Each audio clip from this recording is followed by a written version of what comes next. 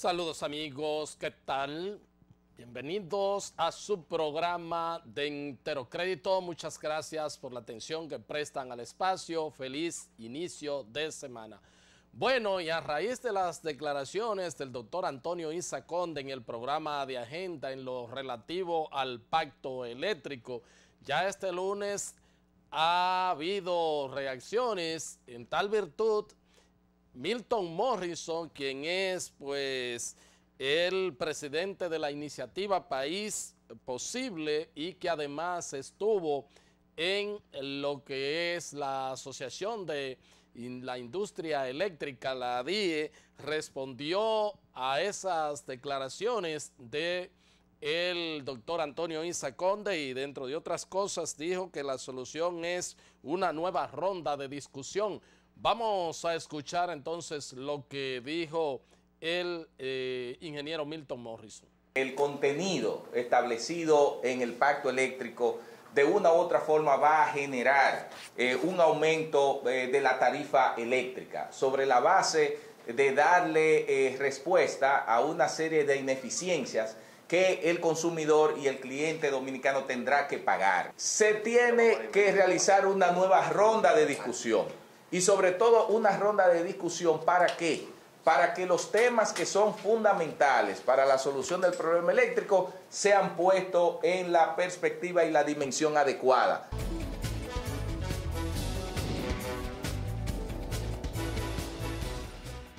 Se dinamiza la actividad política en el Partido Revolucionario Moderno. El doctor Jesús Félix Iglesias, que además, dicho sea de paso, es el entrevistado en el programa de Entero Crédito este día fue a inscribirse como candidato a la presidencia del Partido Revolucionario Moderno. Acudió a la comisión que eh, preside el poeta y licenciado Tony Raful y tanto eh, pues el doctor Félix Iglesias como el licenciado Raful hablaron sobre el particular y vamos a escuchar sus declaraciones. Que vamos a construir el más grande frente opositor que se haya construido en la República Dominicana.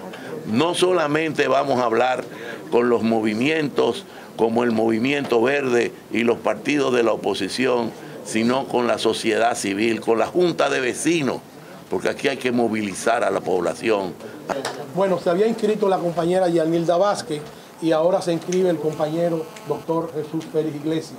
Entre hoy y mañana eh, esperamos inscripciones de otros aspirantes. Muy bien, se están cumpliendo todos los, todos, todos los plazos que la Comisión Nacional Organizadora había establecido, se están cumpliendo de manera estricta a nivel nacional. Yo puedo decir en nombre de la Comisión Nacional Organizadora que en este momento prácticamente eh, la convención marcha sobre ruedas. O sea, la cosa va muy bien, positiva, eh, todos los plazos se están cumpliendo.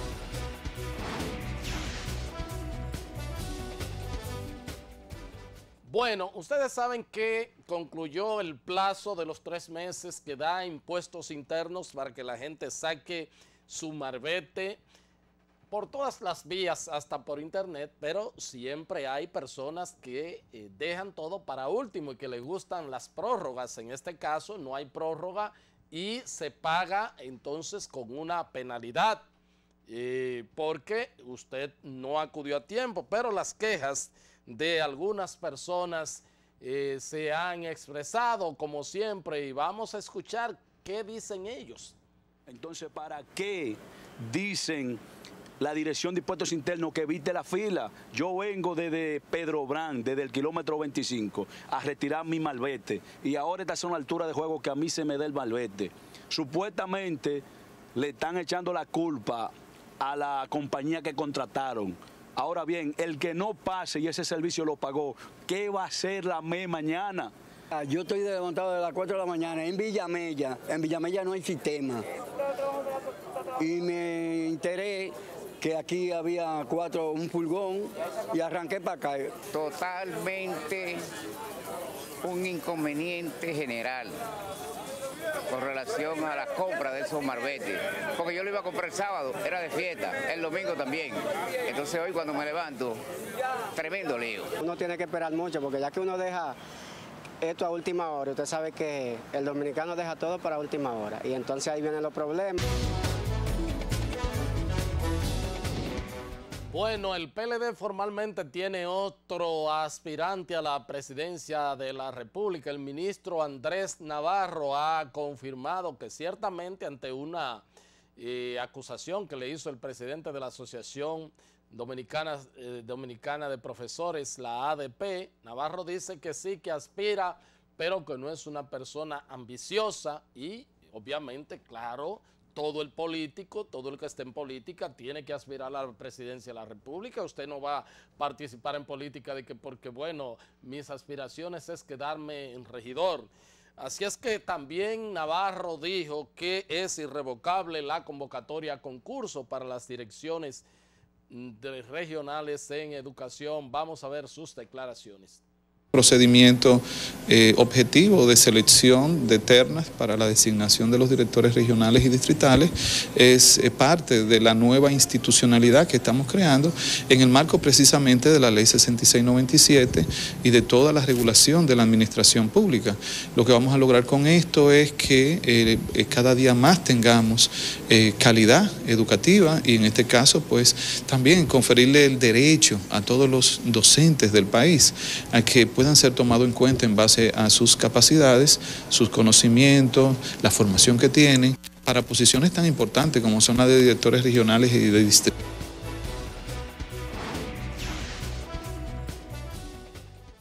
Bueno, al hablar en el Día del Poder Judicial, el doctor Mariano Germán sobre los obstáculos que impiden una, la plena independencia del Poder Judicial, dentro de otras cosas, están los recursos, pero eh, tanto el presidente de la Cámara de Diputados, Rubén Maldonado, como Ramón Cabrera, diputado del PLD, y el portavoz de la bancada de diputados del PRM, Alfredo Pacheco, han pedido más explicaciones al presidente de la Suprema Corte de Justicia, el doctor Mariano Germán Mejía, quien dio esas declaraciones en el contexto de la celebración este domingo del Día del Poder Judicial. Vamos a ver estas declaraciones. Existe esa independencia. Nosotros aquí como Congreso tenemos independencia plena. No estamos atados a ninguna directriz de ningún otro poder del Estado. La justicia actúa también por su, por su parte. La Suprema Corte de Justicia y todo el sistema de justicia en República Dominicana actúa en función de los dictámenes de sus propias instituciones. El Ejecutivo tiene su función. Debió de haberlo de manera responsable dicho que cuáles son los, eh, los, sectores que le presionan para que no sea independiente, porque ahí estaba el presidente de la República y el presidente ha dado demostraciones fehacientes de no inmiscuirse en, esos, en esos asuntos de la justicia, pero muy bien que siempre lo establece. La justicia por un lado, el Congreso por uno y el gobierno es otro. El presidente de la Suprema Corte de Justicia cuando reclama mayor cantidad de recursos y la justa aplicación de la ley, que cada año se conforma una triquiñuela legal para impedir que los poderes del Estado tengan el presupuesto que establece la ley.